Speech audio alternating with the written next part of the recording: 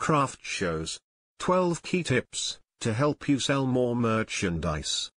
Craft shows can be the number one moneymaker for a woodworking business. But not all shows are alike. If you're planning to sell at craft shows, you'll find these 12 tips quite useful. Number 1, build a list of potential shows as outlets to sell your crafts.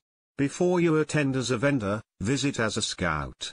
Pay attention to the number and variety of vendors, and, how many visitors are walking away with purchases in hand.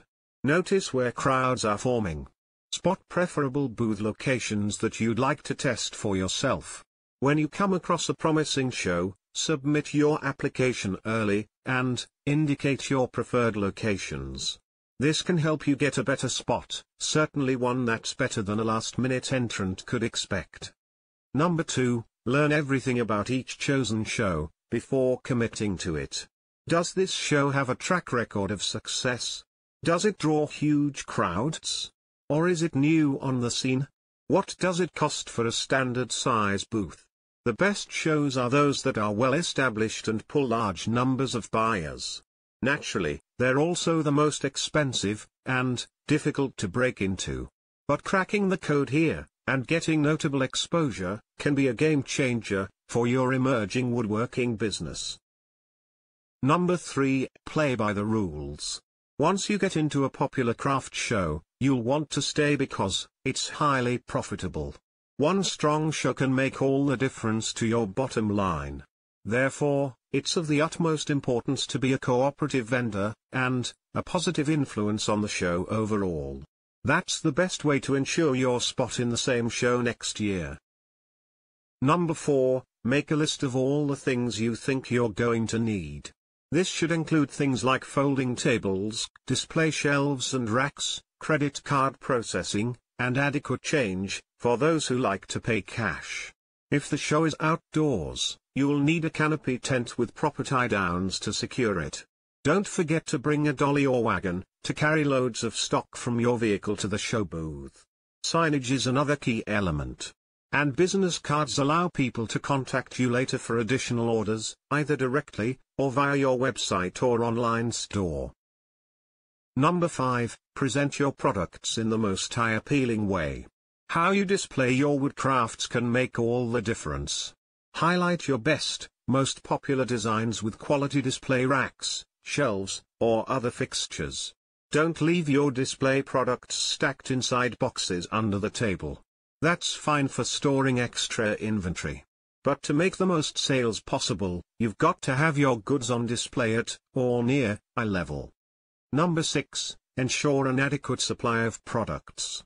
Have more items on hand, or readily available, than you expect to sell at the busiest of shows. The last thing you want is to run dry and have little left to offer, before, the craft show is over. You're paying rent for the full duration of the show. Empty shelves means lower profits for you and disappointed customers, not to mention, unhappy show management. Plan to sell plenty of merchandise and always have backup inventory. Number 7, gather various product display ideas and use those that could work for you. Attend all kinds of shows including, craft shows, art shows, home shows, and trade shows, looking for ideas. But also check out various malls in your area, and, whenever you're out of town.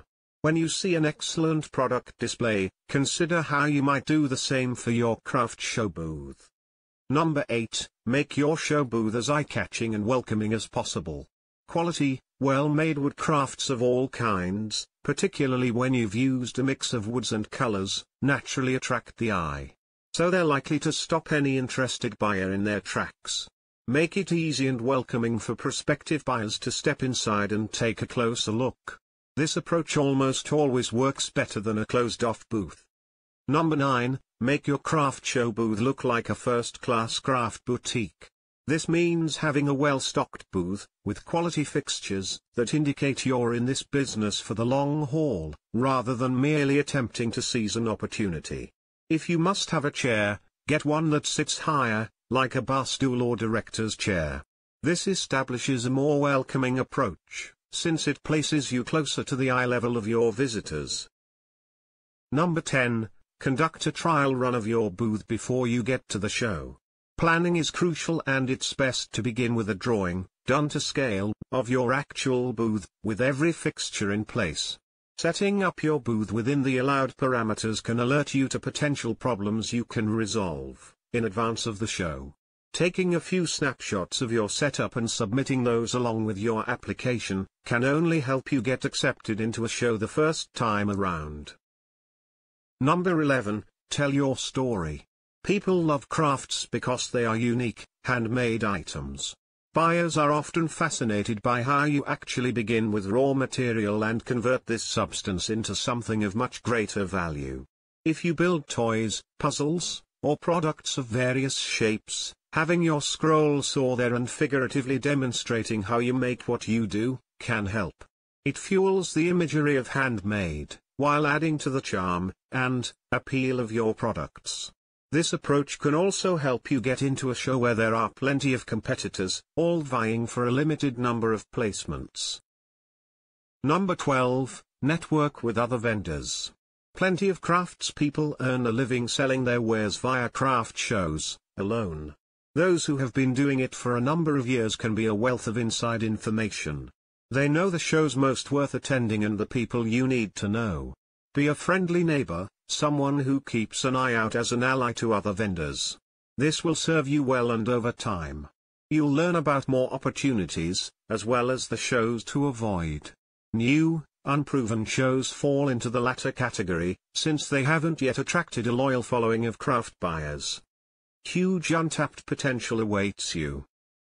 Now, give yourself the advantage of added intelligence by clicking the link below in the description.